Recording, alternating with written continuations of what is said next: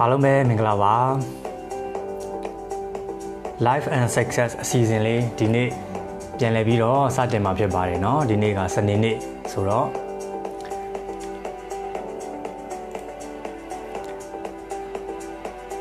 အဲကျွန်တော်တို့ပုံမှန်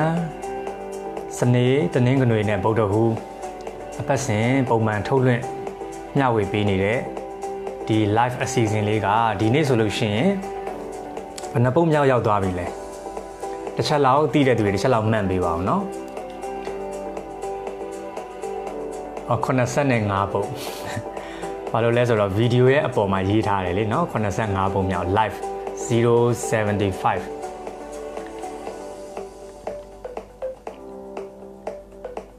စောင့်နေတဲ့အတွက်ကျေးဇူးတင်ပါတယ်အားလုံးပဲမင်္ဂလာပါဟုတ်ကဲ့ live video 85ပုတ်တောင်ရှိသွားပါပြီเนาะ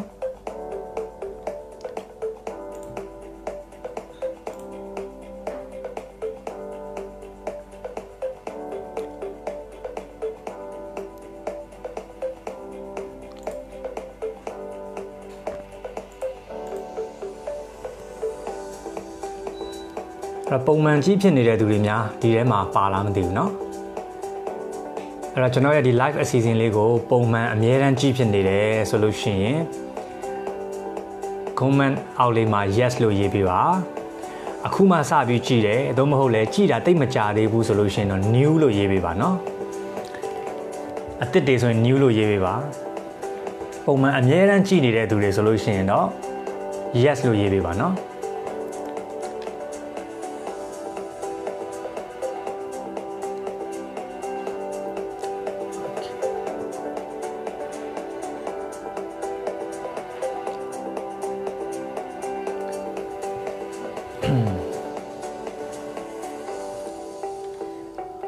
yes okay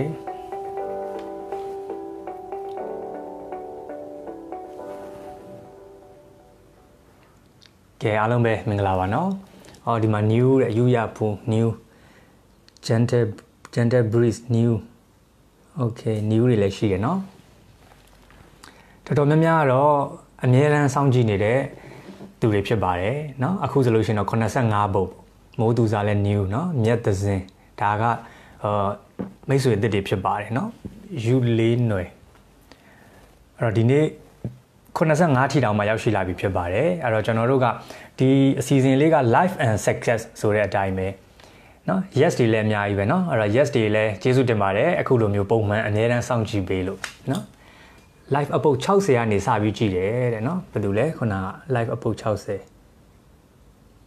အော်ဟုတ်ပြီခက်လေး ဝင်းနိုင်ဆိုမင်္ဂလာပါ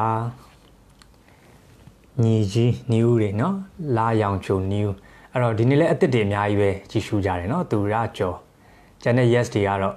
ဟောຫນွယ်လေးဟုတ်ပြီနာမည်ခေါ်ပေးပါတက်ကလည်း new ပဲတန်းຫນွယ် new ဟောအစ်စ်တွေအများကြီးပဲเนาะအစ်စ်တွေအများကြီးပဲဆိုတော့ဒီအစီအစဉ်လေးကတော့အခုမှတချို့တွေကအစ်စ်ဆိုပေမဲ့လည်းအရင်အရင်ဗီဒီယိုတွေအများကြီးပဲ live တွေအများကြီးပဲကျွန်တော်တို့မျှဝေခဲ့ပြီးဖြစ်ပါတယ် ဒီအစီအစဉ်ကတော့အောင်မြင်ဖို့အတွက်ဓာတ်ရိုက်ပြောကြမယ်ဆိုတဲ့အတိုင်းပဲကျွန်တော်တို့အားလုံးကိုယ့်ရဲ့ဘဝမှာအောင်မြင်မှုတွေလိုချင်တယ်ဖွံ့ဖြိုးတိုးတက်မှုတွေလိုချင်တယ်ကိုသိချင်တဲ့ဘဝအောင်မြင်မှုဆိုင်ရာအအကြောင်းအရာတွေအတွေးခေါ်တွေစိတ်ဓာတ်နဲ့ပတ်သက်တဲ့အကြောင်းအရာလေးတွေအဲ့တော့ဒီအရာတွေကိုကျွန်တော်တို့ကဒီစနေတနင်္ဂနွေနဲ့ဗုဒ္ဓဟူးည9:00နာရီတိုင်းမှာကျွန်တော်တို့မိတ်ဆွေတွေတငယ်ချင်းတွေနဲ့အတူတူဆွေးနွေးကြတဲ့အရာလေးဖြစ်ပါတယ်เนาะ အဲထွန်းဝင်းမောင်နန်းကျော်ခိုင်69မှာစပြီးကြည်တယ်တဲ့ဘုရား23ကလေးကကြည်တာတူတူ42ကစကြည်တယ်ဟောကိုစကြည်တဲ့ဗီဒီယိုလေးတွေပြောပြပေးတာကောင်းတယ်နော်အဲ့တော့မကြည့်ရသေးတဲ့ live လေးတွေရှိရင်လည်းကြည့်ကြည့်ပါဒီနေ့ကတော့85ပုံမြောက်တောင်ရောက်ရှိလာပြီ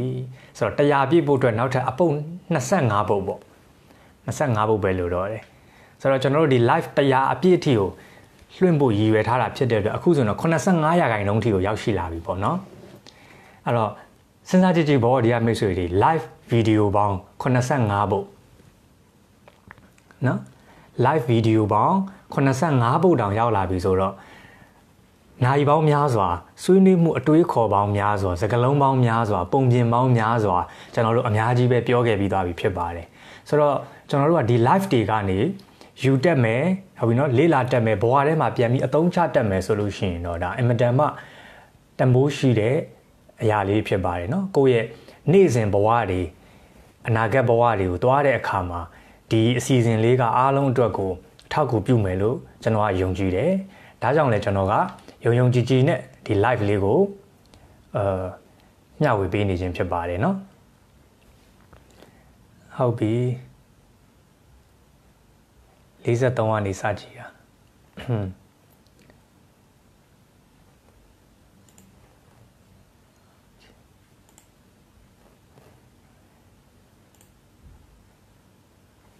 ဟောဓမ္မရောင်ကြီးကနေလည်းကြည့်ဖြစ်တယ်တဲ့နော်အဲ့ဒီနေ့85ဘုတ်မှာကျွန်တော်တို့တွေဆက်လက်ပြီးတော့ဆွေးနွေးကြမယ်ဆွေးနွေးတယ်ဆိုတဲ့အခါမှာကျွန်တော်တို့တွေအာတည်ကျင်တဲ့အကြောင်းအရာလေးတွေရှိမယ်ဆွေးနွေးခြင်းတဲ့အရာလေးတွေ ကိုပြောခြင်းတဲ့အရာလေးတွေရှိမယ်เนาะအဲ့ဒါလေးတွေရှိလာပြီဆိုလို့ရှိရင် comment လေးတွေမှာလည်းမေးလို့ရပါတယ်ရင်လေးเนาะဟုတ်ပြီနာမည်ခေါ်ပေးပါဆိုတော့ကဲဒါဆိုရင်တော့ကျွန်တော်တို့ဒီနေ့အတွက်ဆွေးနွေးကြရအောင်เนาะလူလဲတော်တော်လေးကိုများလာပြီဆိုတော့အစ်စ်တွေလည်းရှိတဲ့အတွက်အားလုံးကို welcome ပါเนาะဒီနေ့မှရောက်လာတဲ့မိတ်ဆွေတငယ်ချင်းတွေအတွက်ကျွန်တော်ကတော့ပုံမှန်စနေတနင်္ဂနွေပုတ်တဟူဒီ live လေးကိုအမြဲတမ်းထုတ်လွှင့်ပေးနေပါတယ် အဲ့တော့အရင်အရင်တုန်းက live လေးတွေလည်းကြည့်ကြတယ်ဆိုလို့ရှိရင်ကျွန်တော်ရဲ့ဒီ Facebook page မှာလည်း live မှာရှာပြီးတော့ကြည့်လို့ရတယ်လို့ YouTube channel မှာလည်းဝင်ရောက်ပြီးတော့ live video တွေကိုနံပါတ်စင်တိုင်းတွားရောက်ပြီးတော့ကြည့်ရှုလို့ရပါတယ်เนาะ YouTube ကနေကြည့်ခဲ့တဲ့သူတွေလည်းပါဝင်တယ်ဟုတ်ပြီအာတကားဟောပြောပွဲတွေနားထောင်ဖြစ်ပါတယ်ကျေးဇူးတင်ပါတယ်ရှင်ဗျာเนาะ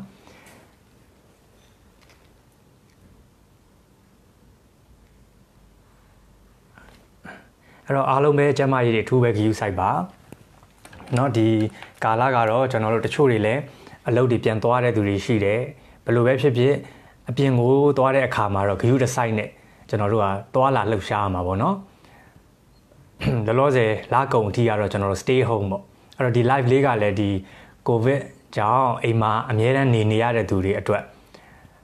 နော်အိမ်မှာအမြဲတမ်းနေနေရတဲ့သူတွေအတွက်အိမ်မှာနေရင်းနဲ့အကျိုးရှိဖို့အတွက်ဆိုတဲ့ဒီရည်ရွယ်ချက်လေးနဲ့ စတင်ခဲ့တယ်နော်စတင်ခဲ့တဲ့ live လေးဖြစ်ပါတယ်ဒီ live လေးကနေလွှင့်ရင်းလွှင့်ရင်းနဲ့ပုံမှန်ပုံမှန်ပေါ့တပတ်ကို3ရက်3ရက်လွှင့်ရင်းလွှင့်ရင်းနဲ့အခုဆိုရင်80နဲ့အဲ9ထီတောင်ရောက်လာပြီနော်စိတ်နဲ့ပတ်သက်တာပြောပြပေးပါဆရာတဲ့အဆင်ပြေတယ်ဆိုရင်နည်းနည်းပါးပါးပေါ့တဲ့နော်အဲ့တော့ဒီ live ထဲမှာလဲနော်ဟုတ်ပြီဒီ live အစီအစဉ်တွေမှာလဲကျွန်တော်တို့ကဒီစိတ်ပိုင်းဆိုင်ရာနဲ့ပတ်သက်တဲ့ live တွေဆိုလို့ရှိရင်လည်းတော်တော်များများရှိတယ်ဆို အဲ့ဒါတွေလည်းပြောခဲ့တာတွေရှိတယ်ပေါ့နော်အောင်မြင်မှုစိတ်ဓာတ်နဲ့ပတ်သက်တဲ့အကြောင်းအရာတွေနောက်ပြီးတော့ငွေရေးကြေးရေးနဲ့ပတ်သက်တဲ့အကြောင်းအရာတွေဒါလေးတွေလည်းပြောခဲ့တယ်နောက်ပြီးစီးပွားရေးနဲ့ပတ်သက်တဲ့အကြောင်းအရာတွေပြီးခဲ့တဲ့အပတ်ကဆိုလို့ပြီးခဲ့တဲ့ဗုဒ္ဓဟူးနေ့ကဆိုလို့ရှိရင်လည်းလူငယ်တွေစွန့်ဦးတီထွင်လုပ်ငန်းရှင်စီးပွားရေးနဲ့ပတ်သက်တဲ့အကြောင်းအရာလေးတွေနောက်ပြီးတော့အောင်မြင်ရေးနဲ့ပတ်သက်တဲ့အကြောင်းအရာခေါင်းဆောင်မှုနဲ့ပတ်သက်တဲ့အကြောင်းအရာဆိုတော့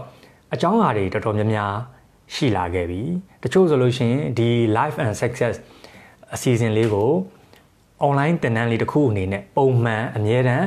အဲတက်နေတယ်ပေါ့နော်ပုံမှန်အမြဲတမ်းသူ့ရဲ့ online သင်တန်းလို့သဘောထားပြီးတော့ကိုပုံမှန်အမြဲတမ်းတက်နေတဲ့သူတွေလည်းရှိပါတယ်အဲ့တော့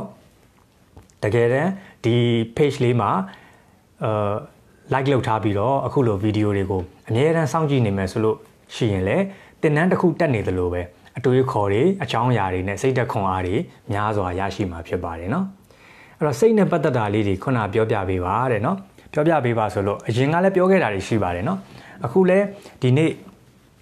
အာကားမောင်းလာရင်းနဲ့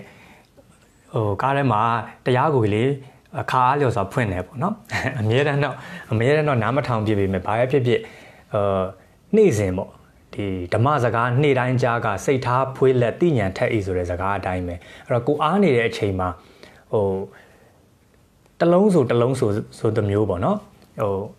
အတွေးခေါ်ပဲဖြစ်ဖြစ် စာပေဟောပြောပွဲပဲဖြစ်ဖြစ်တရားဓမ္မပဲဖြစ်ဖြစ်နားထောင်လိုက်တဲ့အခါမှာဒီစကလုံးတစ်ခုအကြောင်းအရာတစ်ခုကအတိလေးတစ်ခုတိုးသွားပြီဆိုလို့ရှိရင်ဘဝအတွက်များစွာအကျိုးရှိပါတယ်เนาะဥမာ9မိနစ်နားထောင်လိုက်လို့9မိနစ်အတွင်းတည်သွားရင်အဲ့ဒီ9မိနစ်ကလေးကအင်မတန်မှတန်ဖိုးရှိတယ်အဲ့ဒီတော့ခုနကစိတ်နဲ့ပတ်သက်လို့ဆိုတဲ့အခါမှာညနေကကားပေါ်မှာခဏလေးနားထောင်လိုက်ရတယ်เนาะဒီပါကျုပ်ဆရာတော်ဘုရားကြီး ကနေပြီးတော့ဟောထားတဲ့ အရာလေးကိုခေါင်းထဲမှာခဏလေးပေါ်လာတယ်เนาะဒီကမိတ်ဆွေတွေခုနမေးလိုက်တဲ့ဆိုတဲ့အခါမှာလူတယောက်ရဲ့သူကဒီအဆင့်အတန်းကိုစိတ်တဲ့မြင့်မားမှုပေါ့နော်စိတ်ထားမြင့်မြတ်မှုနဲ့သာတိုင်းတာတယ်တဲ့ဒီအကြောင်းအရာလေးပေါ့လူတယောက်ရဲ့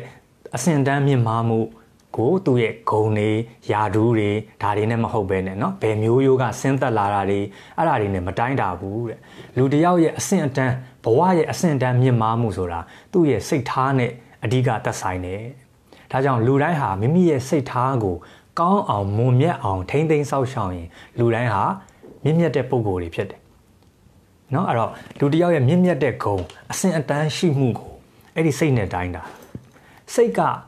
အောက်တန်းကြရင်ဒါအောက်တန်းကြတဲ့သူဖြစ်တယ်စိတ်ကမြင့်မြတ်မြင့်မြတ်တဲ့သူဖြစ်တယ်ဒါကြောင့်လူတစ်ယောက်ရဲ့အောက်တန်းကြခြင်းအစဉ်တန်းနှိမ်ခြင်းအစဉ်တန်းမြင့်ခြင်းကိုသူဟာချမ်းသာခြင်းဆင်းရဲခြင်းနဲ့မတိုင်းဘူးတဲ့ ချမ်းသာခြင်းဆင်းရဲခြင်းနဲ့မတိုင်းမဲနဲ့ဘာနဲ့တိုင်းလဲစိတ်ထားမြင့်မြတ်မှုနဲ့တိုင်းတာတယ်အဲ့တော့မိမိရဲ့အဆင့်အတန်းကိုမိမိကိုယ်တိုင်မြင့်တင်ရမှာဖြစ်ပါတယ်အဆင့်တန်းမြင့်ခြင်းဘာကိုမြင့်ရမလဲစိတ်နေစိတ်ထားကိုမြင့်ရမယ်မိမိရဲ့ attitude ကိုမြင့်ရမယ်စိတ်ရဲ့မြင့်မြတ်မှုကိုမြင့်ရမယ်ဒါကြောင့်ကျွန်တော်တို့အခုလိုအမြဲတမ်းဆွေးနွေးနေတဲ့စိတ်ဓာတ်မြင့်တင်ရေးဆိုတဲ့အစီအစဉ်က စိတ်ဓာတ်မြင့်တင်တယ်ဆိုတဲ့အရာမှာလူတွေကိုစ조사အားထုတ်ဖို့ဟုတ်ပြီနော်ခွန်အားပေးဖို့လုံနိုင်တဲ့ဒါမျိုးတွေပဲအားပေးနေတာမျိုးပြောတာမဟုတ်ဘူးเนาะ motivation လို့ပြောလိုက်ရင်စိတ်သက်တက်ကြွမှုလို့ပြောလိုက်ရင်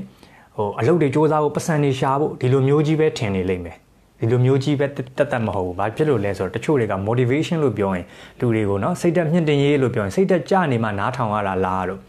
ဒါမျိုးတွေထင်ပါဆိုလို့အမှန်တော့စိတ်သက်ကြမှမဟုတ်ဘူး။စိတ်သက်မြင့်တင်တယ်ဆိုတာ မြင့်တယ်ဆိုတဲ့စကားရှိတယ်။တင်တယ်ဆိုတဲ့စကားရှိတယ်။တင်တယ်ဆိုရင်တရားမိတ်ဆွေစဉ်းစားကြည့်အပေါ်တင်တာစိတ်ကိုတင်တယ်ဆိုတာလေမြင့်တယ်ဆိုတာလည်းဘယ်ရောရအောင်လုပ်တာလဲအပေါ်ကိုမြင့်တာဘာကိုမြင့်တာလဲစိတ်ကိုမြင့်တာစိတ်ကိုမြင့်မှစိတ်ကမြင့်မှဖြစ်တယ်စိတ်ကိုတင်ထားမှစိတ်ကမကြမှဖြစ်တယ်ကြရင်လည်းပြန်ပြီးတင်ရတာဒါကြောင့်မြင့်တင်တယ်ဆိုစကားလေးကိုသုံးတာအဲ့တော့ motivation ပြောတယ်စိတ်တက်မြင့်တင်ပြောတယ်ဆိုတာ မင်းလုံနိုင်တယ်မင်းအောင်မြင်နိုင်တယ်မင်းချပါမင်းစူးစမ်းပါဒါတကြီးကိုပဲပြောနေတဲ့စကားမဟုတ်ဘူးလူတိုင်းမြင့်မြတ်သောစိတ်ထားမြင့်မားသောစိတ်ထားကောင်းမွန်မွန်မြတ်သောစိတ်ထားမျိုးတွေပိုင်ဆိုင်လာအောင်ပြောခြင်းအားလုံးထဲမှာစိတ်ဓာတ်မြင့်တင်ရည်တွေအားလုံးပါဝင်ပါတယ်ဟုတ်ပြီနော်မြင့်နေတင်နေမှမမြင့်ရင်မတင်ရင်မတင်ရင်အမြဲတမ်းကြတတ်တယ်ဘာကြောင့်ကျွန်တော်တို့ကတင်နေတင်တယ်လဲဆိုတော့ခဏခဏအခက်ခဲကြုံရင်စိတ်ကကြတက်လို့ဖြစ်ပါတယ်ဟုတ်ပြီနော် ဒါကြောင့်ဘဝအောင်မြင်မှုမှာလည်းဒီအတိုင်းပဲခုနကနော်ဘုရားရှင်ဟောတဲ့အတိုင်းလည်းဒီအတိုင်းပဲဖြစ်ပါတယ်ဟုတ်ပြီနော်အတန်းကြီးရဲ့ရုပ်ကဝါတယ် internet connection ကြောင့်နေမှာပါနော်ကျန်တဲ့သူတွေကတော့ကြည်ကြည်လင်လင်ကြားရလားမသိဘူးနော်မြင်ရလားမသိဘူး internet connection အားနည်းသွားရင်ရုပ်ကတော့ဝါသွားတယ်နော်အဲ့လိုမျိုးတော့ရှိတယ် connection ကြောင့်လည်းဖြစ်မှာပါတခြားကျန်တဲ့သူတွေက connection ကောင်းရဲ့လား ဟုတ်ပြီနော်အဲဒီတော့ခုနကပြောသလိုပဲကျွန်တော်တို့တွေစိတ်ကိုအမြဲတမ်းတင်နေရမယ်စိတ်ကအမြဲတမ်းမြင့်နေရမှာဖြစ်တယ်ဟုတ်ပြီအဲ့ connection နည်းနည်းကြာလို့ထင်ပါတယ်နော်ယုတ်ကဝါနေတယ်ဆိုတာလေ connection ကောင်းတဲ့ဘက်မှာတော့နည်းနည်းကြည်လိုက်မယ်နော်မြင်ရတယ်တချို့တွေမြင်ရတယ်တဲ့နော်ကြားတော့ကြားရတယ်နော်အဲ့တော့ရုပ်လည်းမြင်ရတယ်အတန်လည်းကြားရတယ်ရုပ်ကတော့ဝါတယ်ပေါ့အတန်ကတော့ကြားရတယ်နော် ဆိုတော့အတန်ကြားရင်လည်းရပါပြီเนาะ connection ကြောင့်လည်းဖြစ်မှာပါဟုတ်ပြီစင်စင်မဟုတ်ဟုတ်ပြီเนาะအတန်ကြီးတယ်တဲ့လူဝါတယ်နော်ရုပ်ကတော့ဝါတယ်ပေါ့နော်အဲလူဝါတယ်ဆိုနော်လူဝါဝါတယ်ပေါ့ဟလားအဲ့ဒီတော့ကျွန်တော်တို့ကအမြဲတမ်းမိမိရဲ့စိတ်ကိုမြင့်နေတင်နေဖို့လိုအပ်တယ်ဒါမှဘဝအောင်မြင်မှုမှာလည်းစိတ်ကအဓိကစကားပြောသွားတယ်အဲ့ဒီလိုပဲ ဘဝရဲ့အဆင့်အတန်းမြင့်မားမှုကလည်းစိတ်ကစကားပြောသွားတယ်လူမှုပေါင်းသင်းဆက်ဆံရေးမှာလည်းကိုယ့်ရဲ့စိတ်ကစကားပြောသွားတယ်အဲ့တော့အရာအလုံးကမိမိရဲ့ attitude မိမိရဲ့စိတ်နေစိတ်ထားစိတ်နေသဘောထားစိတ်ထားပုံမှာအများကြီးပဲမူတည်တယ်ဟုတ်ပြီနော်လူနေခြုံကြားစိတ်နေဘုံဖျားဆိုတဲ့စကားလေးရှိတယ်အားလုံးပဲကြားဖို့ပါတယ်နော်လူနေခြုံကြားစိတ်နေဘုံဖျားဆိုတဲ့စကားလေးကတော့လူကတော့ကျွန်တော်တို့တွေခြုံကြားထဲမှာနေရတယ်တနည်းအားဖြင့်တော့ဟို အစင်မပြေဘူးเนาะဆင်းရဲရင်ဆင်းရဲလိမ့်မယ်ဘဝအခြေအနေအဲ့တော့လူဟာခြုံကြားထဲမှာနေနေပြီမဲ့စိတ်ကမြင့်မြင့်မမားထားထားတယ် တနည်းအားဖြင့်စိတ်ကအောက်တန်းမကြဘူးလူဘဝသာအောက်ကြနောက်ကြဖြစ်ရင်ဖြစ်နေလိမ့်မယ်เนาะဘဝကံအကျိုးပေးအားနည်းလို့ဆင်းရဲတယ်လို့အစင်မပြေဘူးလို့ဒီလိုမျိုးဖြစ်ကောင်းဖြစ်လိမ့်မယ်သို့တော်လည်းကျွန်တော်တို့ကမိမိတို့ရဲ့စိတ်ကိုဘုံဖြားမှာမြင့်မြင့်မာမာထားတဲ့သူဟာ အဲ့ဒီစိတ်ကခြုံကြားတဲ့ကလူကိုအပေါ်ဆွဲပြီးတော့တင်တယ်ဟုတ်ပြီနော်အပေါ်ဆွဲပြီးတင်တယ်အဲ့တော့မြင့်မြတ်သောစိတ်ထားဟာ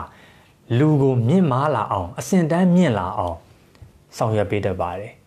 အဲ့လိုပဲနှိမ့်ကြသောစိတ်ထားဟာလူကိုနှိမ့်ကြသွားအောင်ဆောင်ရွက်တတ်ပါတယ်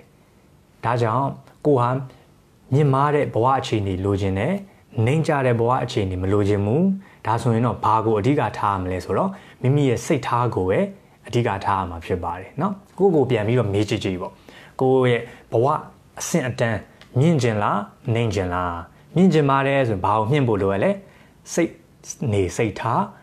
စိတ်ထားတွေကိုအမြဲတမ်းမြင့်တင်နေရမှာဖြစ်ပါတယ်ဒါအခြေခံဖြစ်ပါတယ်တဲ့เนาะလူတွေကိုဆုံးမတဲ့အခါမှာအခြေခံအနေနဲ့စိတ်ကိုဗဟုပြုပြီးတော့မြတ်စွာဘုရားရှင်ကဆုံးမတယ်เนาะအာ mind center teaching လို့ခေါ်တာပေါ့ အဓိကစိတ်ကိုဗဟုပြုပြီးတော့သင်ကြားပေးတယ်စိတ်ထားတတ်ဖို့စိတ်တွေးတတ်ဖို့အဲ့တော့ကျွန်တော်တို့အောင်မြင်မှုအတွက်ဘဝအောင်မြင်မှုအတွက်ဓာတ်ရိုက်စကားပြောကြတယ်ဆိုတဲ့အခါမှာလေဒီကမိတ်ဆွေတွေကိုတခါတလေမှာကျွန်တော်တို့စကားပြောတဲ့အခါမှာ mind center teaching အဓိကကျွန်တော်တို့ကစိတ်ကိုဗဟုပြုထားတာဘာကြောင့်လဲဆိုတော့ဘယ်အရာမှမဆိုစိတ်ကအားလုံးကိုဥဆောင်တယ်ဆိုတဲ့စကားရှိတယ်ဒါကြောင့်ကျွန်တော်တို့ စီးပွားရေးပြောတဲ့အခါမှာပဲဖြစ်ဖြစ်အောင်မြင်မှုပြောတယ်ကျွန်တော်တို့ဆိုလို့ရှိရင်လေငွေရေးကြေးချမ်းသာကြွယ်ဝရေးနဲ့ပတ်သက်တာပြောတယ်ဘာသာရေးနဲ့ပတ်သက်တဲ့အကြောင်းတွေပြောတယ်နော်တခါတလေပေါ့နော်နည်းနည်းအနှဲငယ်ပေါ့နိုင်ငံရေးနဲ့ပတ်သက်တဲ့အကြောင်းလေးတွေအနှဲငယ်လေးတွေကျွန်တော်တို့တွေပြောတယ်နော်ပြောရဲဆိုတဲ့အခါမှာလေခေါင်းဆောင်မှုနဲ့ပတ်သက်တဲ့အကြောင်းအရာတွေနဲ့ရှင်ပြီးတော့ပြောတာဖြစ်ပါတယ်အားလုံးဒီဘယ်ပေါ်မှာမူတည်လဲဆိုတော့အဲ့ဒီစိတ်မှာမူတည်တယ်စိတ်ကိုဗဟုပြုပြီးတော့မှကျွန်တော်တို့ပြောတဲ့အခါမှာအရာအားလုံးက အကျုံးဝင်တယ်ဒီထဲမှာလေနော်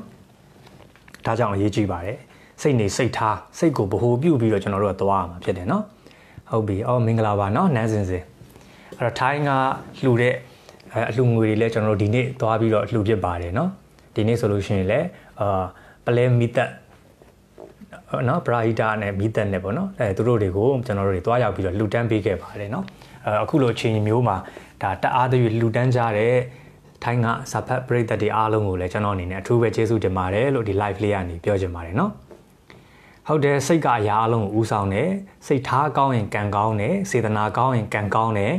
အဲ့ဒီလိုမျိုးတွေအများအားပြောကြပါတယ်ဒါကြောင့်ကျွန်တော်တို့စိတ်ကိုဗဟုပြုပြီးတော့ဆောင်ရွက်ကြပါနော်စိတ်ကိုဗဟုပြုပြီးတော့ကောင်းသောဘက်ကိုရောက်အောင် ပြုလုပ်တာဖြစ်ပါတယ်အဲဒါအခြေခံအနေနဲ့ပေါ့ နောက်တစ်ခုကမြတ်စွာဘုရားရှင်ကဆုံးမတဲ့အခါမှာနောက်ထပ်အဆင့်တစ်ခုအနေနဲ့အဆင့်မြင့်ပိုင်းကိုဆုံးမတယ်ဆိုလို့ရှိရင်တော့ဉာဏ်ပညာပိုင်းကိုအခြေပြုပြီးတော့ဆုံးမတာဖြစ်ပါတယ်ဗဟုပြုပြီးတော့ဆုံးမတာဖြစ်ပါတယ်ဒါကြောင့်ပထမအခြေခံအခြေခံသည်အခြေခံတီးရှင်းသည်စိတ်ကိုဗဟုပြုပြီးတော့သွားတယ်ဒုတိယအဆင့်မြင့်သည်ဉာဏ်ကိုဗဟုပြုပြီးတော့သွားတယ်စိတ်ကနေကျွန်တော်တို့ဉာဏ်ကိုသွားတယ်ဟုတ်ပြီနော်စိတ်ကနေဉာဏ်ကိုသွားတယ် ဒါကြောင့်အခြေခံသည်မိမိတို့ရဲ့စိတ်ကိုဗဟိုပြုပြီးတော့အစိမြင့်ပိုင်းသည်ဉာဏ်ပညာပိုင်းကိုဦးစားပေးပြီးတော့သွားတယ်။အဲ့တော့ကျွန်တော်တို့ကဘဝမှာအမြင့်မားဆုံးအစင်တန်းမြင့်တဲ့သူတွေဖြစ်ချင်ပေါ့နော်။ဒါတယောက်ကမေးခွန်းမေးလိုက်ပြီဆိုရင်အဖြေလေးတွေအများကြီးထွက်လာတယ်နော်။ဒီနေ့ live အတွက်ကအဲ့ဒါလေးမိမိတို့ရဲ့ဒီစိတ်ကိုနော်မိမိတို့ရဲ့ဘဝကိုအစင်တန်းမြင့်ကျင်နေဆိုရင်နံပါတ်1အခြေခံသည်စိတ်ကိုကောင်းအောင်ထားတာ နောက်တစ်နောက်တစ်ခုဒီအစစ်မြင်ပိုင်းမှာကြတော့ဉာဏ်ပညာပိုင်းအောင်သွားတာဒါကြောင့်ဒီကမိတ်ဆွေတွေနဲ့ဒီနှစ်ခုကိုဗဟိုပြုပြီးတော့မိမိဘဝမိမိမြင့်တင်လို့ရမယ်ဘာကိုမြင့်တင်ရမလဲနံပါတ်1စိတ်ကိုမြင့်တင်ရမယ်နောက်တစ်ခုကပညာကိုမြင့်တင်ရမယ်ပညာကိုမြင့်တင်ရမယ်အသိဉာဏ်ကိုမြင့်တင်ရမယ်အဲ့တော့ကျွန်တော်ကျမတို့ရဲ့ဘဝ life က success အောင်မြင်ခြင်းပါတယ်ဘဝကိုလည်းမြင့်မားခြင်းပါတယ်မြင့်မားသောဘဝတွေလိုချင်ပါတယ် ကျွန်တော်တို့ရဲ့ဘဝတွေအဆင့်မြင့်ခြင်းပါတယ်အမြင့်တနေရာကိုလိုချင်ပါတယ်ထိတ်ဆုံးကိုရောက်ချင်ပါတယ်အောင်မြင်မှုတွေလိုချင်ပါတယ်ဘယ်လိုလုပ်ရမလဲဆိုရင်အခြေခံအနေနဲ့ကစိတ်ဖြစ်ပြီးတော့အဆင့်မြင့်အနေနဲ့ကဉာဏ်ဖြစ်ပါတယ်ဒီနှစ်ချက်ပါเนาะအဲ့တော့ကျွန်တော်တို့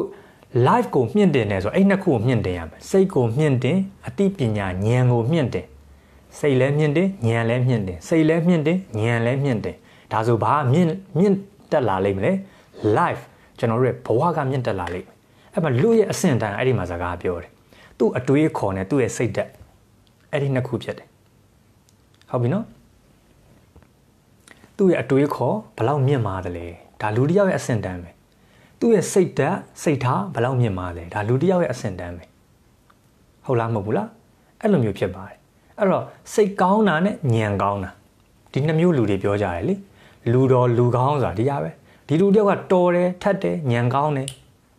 စိတ်ထားလဲကောင်းဖို့လိုတယ်ဒီနှစ်မျိုးလူတော်လူကောင်းအဲ့လိုမျိုးသွားတာညံကောင်းပြီးစိတ်ထားမကောင်းရင်လည်းအဆင်မပြေသလိုစိတ်ထားကောင်းပြီးညံမကောင်းရင်လည်းအောင်မြင်တဲ့လောက်မအောင်မြင်ဘူးအဲ့တော့ကျွန်တော်တို့က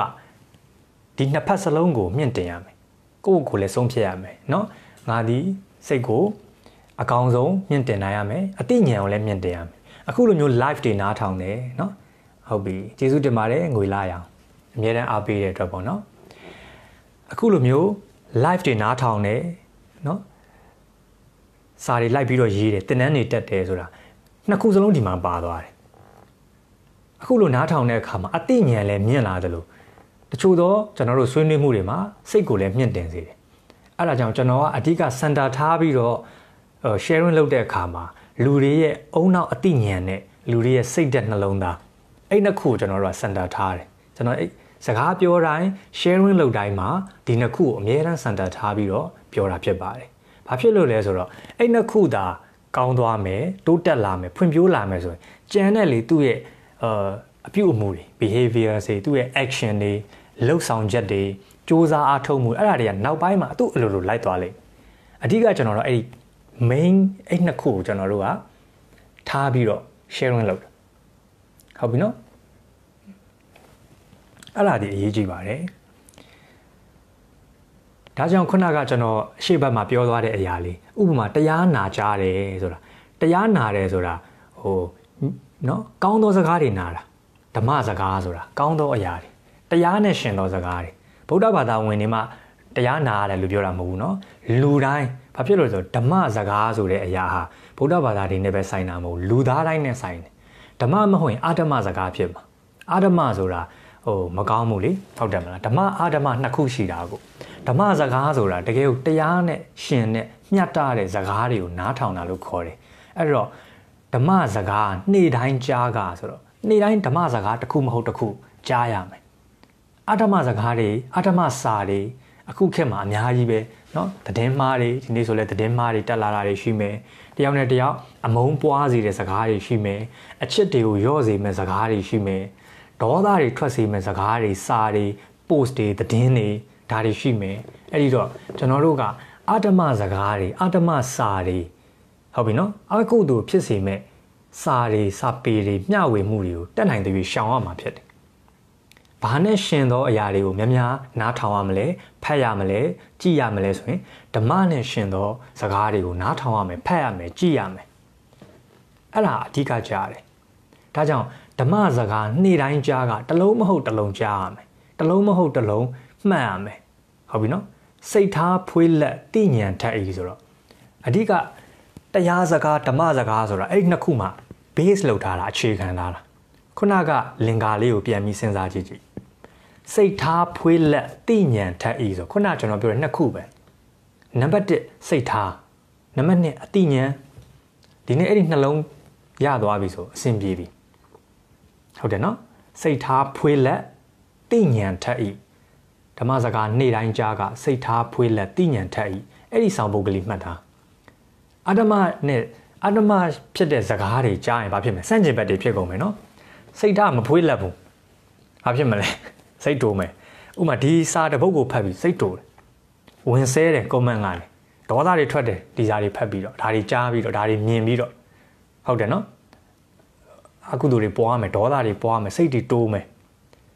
အဲ့တော့စိတ်ထားကလည်းမဖွေးလက်တော့စိတ်ညစ်တာပေါ့ဒီစာတစ်ပုဒ်ကိုဖတ်လိုက်တယ်ဒီအကြောင်းအကြားလိုက်တဲ့ခါမှာစိတ်ကညစ်သွားတယ်စိတ်မကောင်းဖြစ်သွားတယ်စိတ်က မဖွေးတော့မဖြူစင်တော့ဘူးတနည်းအားဖြင့်စိတ်ကညစ်ပေသွားတယ်ဒေါသထွက်သွားတယ်အကုသို့ဝင်သွားတယ်ပေါ့အဲ့တော့စကလုံးတစ်ခုကြောင့်ကိုယ့်ရဲ့စိတ်မှာညှဉ်းနှွမ်းသွားတယ်အကုသို့ဝင်သွားတယ်ဆိုလို့ရှိရင်ဒါဒီဓမ္မနဲ့ရှင်သောစကားမဟုတ်ဘူးဆိုတာလေးကိုကျွန်တော်တို့ကသိဖို့လိုအပ်တယ်ဟုတ်ပြီနော်သိဉာဏ်ထက်ဤအသိဉာဏ်တွေထက်မြက်တယ်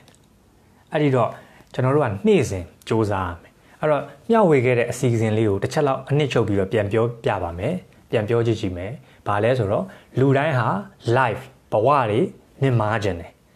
လူဟာအဆင့်တန်းမြင့်ခြင်းတယ်အဆင့်တန်းမြင့်ခြင်းဘာကိုမြင့်ရမလဲအခြေခံအနေနဲ့စိတ်ကိုမြင့်ရမယ်အဆင့်မြင့်အနေနဲ့ဉာဏ်ပညာကိုမြင့်ရမယ်စိတ်နဲ့အသိဉာဏ်အဲ့ဒီနှစ်ခုကိုမြင့်တင်ရမယ်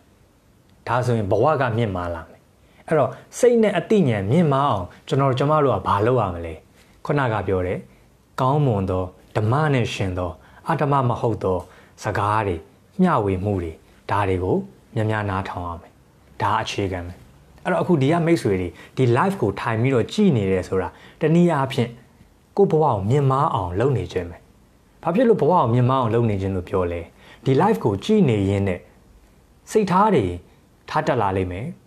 အတွေးတွေမှန်ကန်လာလိမ့်မယ်အသိဉာဏ်တစ်ခုမှတစ်ခုရလာလိမ့်မယ်ဘာပဲဖြစ်ဖြစ်15မိနစ်လေးပဲနားထောင်နားထောင်တနားကြီးအပြည့်ပဲနားထောင်နားထောင်ပုံမြင်လေးတစ်ပုတ်ပဲခေါင်းထဲမှာကြားလိုက်ကြားလိုက် ခုနပြောတဲ့ဇကားလေးတစ်ခုခုနပြောဇကားလေးဆိုရင်ဓမ္မဇကားနေ့တိုင်းကြားကစိတ်ထားဖွေးလဲသိဉဏ်ထက်ဤအဲဒါလေးတည်သွားဒါမှမဟုတ်တချို့ကလည်းမှတ်လိုက်တယ်အခြေခံစိတ်အစင်းမြင့်ဉာဏ်ဟုတ်ပြီနော်အခြေခံအနေနဲ့လူရဲ့စိတ်ကိုမြင့်တင်ပေးပါအစင်းမြင့်အနေနဲ့လူရဲ့အသိဉာဏ်ကိုမြင့်တင်ပေးပါဒီလိုမျိုးအဲ့တော့ကျွန်တော်ရဲ့ဒီအခု professional ဟောပြောမှုလုပ်တယ်စာပေရေးသားတယ်เนาะဟိုတင်တန်းဖွင့်တယ် ဆိုတော့အဓိကရည်ရွယ်ချက်ကလည်းကျွန်တော်တို့လူငယ်တွေအားလုံးကျွန်တော်နိုင်ငံမှာရှိတဲ့မိတ်ဆွေတငယ်ချင်းတွေအားလုံးရဲ့အဓိကဘာအတွက်ပဲလဲစိတ်ဓာတ်မြင့်တင်မှုနဲ့အသိပညာမြင့်တင်မှုအုံနောက်နဲ့နှလုံးသားနော်အခြေခံစိတ်ထားနှလုံးသားနဲ့အသိဉာဏ်အုံနောက်အဲ့နှစ်ခုမြင့်ဘဝအခြေအနေတွေမြင့်မာတယ်လူတယောက်စင်းရဲတယ်ချမ်းသာတယ်ဆိုတာနော်စင်းရဲရင်အစင်တန်းနေနဲ့ချမ်းသာရင်အစင်တန်းမြင့်တယ်အဲ့ဒါနဲ့မဆိုင်ဘူး ဘာနဲ့ဆိုင်တယ်လဲသူရဲ့စိတ်ဓာတ်မြင့်မားမှုနဲ့အသိဉာဏ်မြင့်မားမှုနဲ့ဆိုင်တယ်ဒီလိုမျိုးဖြစ်တယ်စိတ်ထားအရန်ကောင်းတယ်ဆိုလို့ရှိရင်အော်ဒါသူဟာလူကောင်းတစ်ယောက်ဖြစ်တယ်အသိဉာဏ်ပညာထက်မြက်တယ်ကောင်းမွန်တာဆိုပညာရှိဖြစ်တယ်ဒါကြောင့်အဲ့ဒီနှစ်ခုရှင်ပြီးတော့အဲ့ဒီလူပုံကိုကိုဘယ်လိုမျိုးခေါ်ကြတယ်လဲပညာရှိသူတော်ကောင်းလို့ကျွန်တော်တို့ခေါ်ကြတယ်သူတော်ကောင်းဆိုတာဒီသူတို့ရဲ့စိတ်မှာခုနပြောတဲ့အကုသိုလ်တွေကင်းစင်အောင် တနည်းအားဖြင့်ကိုယ့်ရဲ့စိတ်ကိုအကောင်းဆုံးစိတ်ထားကိုကောင်းမွန်ထားသောသူတွေနဲ့ခုနကပြောတဲ့အသိပညာရှိအောင်လုပ်တာကိုပညာရှိလို့ခေါ်တယ်။ဒါကြောင့်အခြေခံသိသွားပြီနော်။အခြေခံကဘာလဲ။ကျွန်တော်တို့အားလုံးရဲ့စိတ်ဖြစ်တယ်။အစင်းမြင့်ဆုံးမမှုကအသိဉာဏ်။ဒါကမြတ်စွာဘုရားရှင်ကဒီလိုမျိုးထားပြီးတော့နော်စင်တာထားပြီးတော့အဓိကလူတွေကိုဆုံးမတာဖြစ်တယ်တဲ့နော်။အားလုံးသောပုဂ္ဂိုလ်အားလုံး လူတွေအားလုံးကိုအခြေခံဆုံးမလာသည်စိတ်ကိုဗဟိုပြုပြီးတော့ဆုံးမတယ်ဒီထက်အဆင့်မြင့်လာပြီဆိုလို့ရှိရင်တော့အတိညာဏ်ကိုဗဟိုပြုပြီးတော့ဆုံးမတာဖြစ်တယ်ပညာကိုဗဟိုပြုပြီးတော့ဆုံးမတာဖြစ်တယ်ရမယ်နော်အဲ့တော့အခုဒီနေ့ live လေးကိုကျွန်တော်တို့ကြည်တာအခု15မိနစ်နော်မိနစ်20အတွင်းမှာတင်ဘာပဲဖြစ်ဖြစ်ဘဝအတွက်အရေးကြီးတဲ့အခြေခံအချက်တွေ point တွေဒါလေးတွေကိုတည်သွားရမယ်နော် အဲ့ဒါအခုဒီလို live ကိုနားထောင်ရခြင်းအကျိုးကျေးဇူးဖြစ်တယ်အဲ့တော့ကိုကစဉ်းစားမယ်ကိုယ့်ရဲ့အသိဉာဏ်ပညာထက်မြက်အောင်ဘယ်လိုလုပ်မလဲကိုယ့်ရဲ့စိတ်တွေကောင်းမွန်အောင်ဘယ်လိုလုပ်မလဲအဲ့နှစ်ခုကိုအမြဲတမ်းတွေးရမယ်အဲ့နှစ်ခုကိုအမြဲတမ်းစဉ်းစားရမယ်စာပေတွေသင်ကြားတယ်တို့ learning လုပ်တယ်တို့ဟုတ်ပြီနော်သင်ယူတယ်သင်ကြားတယ်နားထောင်တယ်စာဖတ်တယ်ဆိုတာဒီမိမိရဲ့အသိဉာဏ်နဲ့စိတ်ဓာတ်ကိုမြင့်တင်နေတာပဲဒါကြောင့်စာဖတ်ပါစာဖတ်ပါလို့ပြောတာစာတွေဒီကျွန်တော်တို့ရဲ့အသိဉာဏ်ဘ ഹു တုတနဲ့စိတ်နေစိတ်ထားတွေကို မြင့်တင်ပေးတော့အရာတွေဖြစ်တယ်ဟုတ်ပြီနော်အဲ့တော့အားလုံးကအောင်မြင်ခြင်းနဲ့ဆိုရင်ဘာလုပ်အောင်လဲစိတ်နဲ့အသိဉာဏ်ကိုမြင့်ချမ်းသာခြင်းနဲ့ဆိုဘာလုပ်အောင်လဲစိတ်နဲ့အသိဉာဏ်ကိုမြင့်ရမယ်နော်အဲ့ဒီလိုမျိုးဖြစ်ပါတယ်နော်ဟုတ်ပြီစိတ်ဓာတ်ပြောင်းလဲရင်ခက်လားတဲ့နော်နိုင်နိုင်ထုံးအတူတူဆွေးနွေးမယ်နော်ဓာတ်ရိုက်စကားပြောမယ်ဆိုလေကျွန်တော်ကြီးပဲပြောနေလို့မရဘူးဓာတ်ရိုက်စကားပြောကြမယ်ဆိုတော့အားလုံးကပြောဖို့လိုအပ်တယ်နော် အဲ့တော့ခုနကဘာတူလဲခုနမေးလိုက်တာလေစိတ်ကိုပြောင်းလဲရတာခက်လားတဲ့ကဲအဲ့တော့ကျွန်တော်မိတ်ဆွေတွေလည်းဖြည့်ကြည့်ပါအောင်နော် live ကိုကြည့်နေတဲ့သူတွေဖြည့်ကြည့်ပါအောင်စိတ်ကိုပြောင်းလဲရတာခက်လားဟုတ်တယ်နော်အာ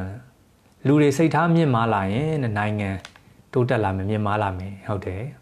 ဒါလည်းမှန်ကန်တာပဲလေနိုင်ငံတိုးတက်လာတယ်ဖွံ့ဖြိုးလာဖို့ နော်နိုင်ငံတော်ဖွံ့ဖြိုးဖို့တိုးတက်ဖို့အောင်မြင်ဖို့အဓိကဘယ်ပေါ်မှာမူတည်တယ်လဲပြည်သူလူထုပေါ်မှာပဲမူတည်တာပဲလေပြည်သူလူထုဟာစိတ်ထားတွေမြင့်မားလာပြီပြည်သူလူထုကအသိဉာဏ်တွေမြင့်မားလာပြီဆိုတော့သူတို့ရဲ့စိတ်ထားမြင့်မားလာတယ်စီကံတွေရှိလာမယ်အသိပညာတွေမြင့်မားလာမယ်ဆိုလို့ရှိရင်နိုင်ငံလည်းဖွံ့ဖြိုးလာမှာတိုးတက်လာမှာဖြစ်တယ်အဓိကကခေါင်းဆောင်မှုလုပ်တယ်ဆိုတာဒီအချက်ပဲအိမ်မှာမိသားစုဝင်ထဲမှာ ကိုကအိမ်တော်ဦးစီးအနေနဲ့လုပ်မယ်ဆိုရင်ကိုယ့်ရဲ့သားသမီးတွေပဲဖြစ်ဖြစ်ကိုမိသားစုဝင်တွေဘာဖြစ်ဖို့လို့လဲစိတ်ကောင်းရှိဖို့နဲ့ပညာရှိဖို့လိုအပ်တယ်စိတ်ကောင်းမရှိဘူးဆိုလို့ရှိရင်အိမ်မှာအပူပင်တောကတွေများလိမ့်မယ်ပညာမရှိဘူးဆိုလို့ရှိရင်လည်းဆင်းရဲလိမ့်မယ်ဟုတ်တယ်နော်အဲ့တော့နိုင်ငံဆင်းရဲတယ်ဆိုတော့ပတ်စံမရှိလို့မဟုတ်ဘူးတဲ့နော်နိုင်ငံနိုင်ငံတွေမဟုတ်ပါဘူးလူတွေပေါ့နော်ဆင်းရဲတယ်ဆိုတော့ပတ်စံမရှိလို့မဟုတ်ဘူးတဲ့ပတ်စံမရှိရင်ဆင်းရဲတာလို့ တာမန်အဖြစ်ပြောကြတာဟုတ်နော်ပတ်စံရှိရင်ချမ်းသာတယ်လို့ပြောကြတာဟုတ်ဒါပတ်စံကအခြေခံမဟုတ်ဘူးအခြေခံကပါလေစိတ်ဆင်းရဲလို့နဲ့ညံဆင်းရဲလို့သဘောပေါက်တယ်နော်စိတ်ချမ်းသာတယ်ညံချမ်းသာတယ်ဆိုလူချမ်းသာလာလိမ့်မယ်သုံးမျိုးမှတ်ထားပါအခုကျွန်တော် base လုပ်ပြီးပြောတာအဲ့စိတ်နဲ့အသိဉာဏ်ပဲ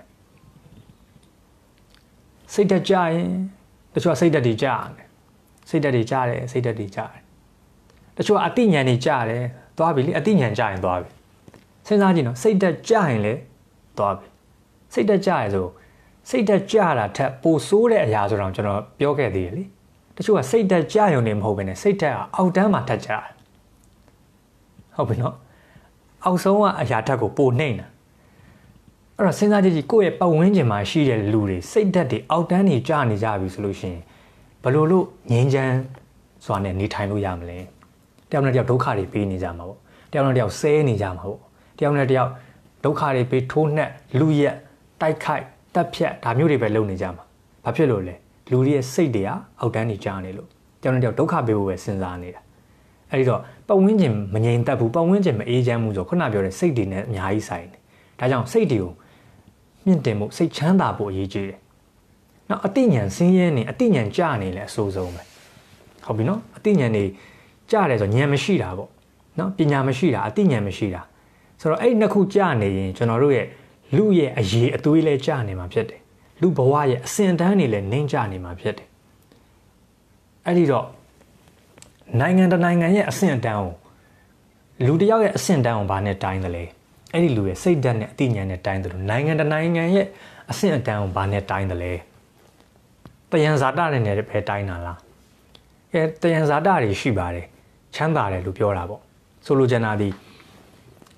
တဘာဝကပေးထားသောချမ်းသာမှုတွေเนาะအာရွှေငွေကြောက်တံပဒများတက်တော်စသဖြင့်အားလုံးတွေရှိရလေ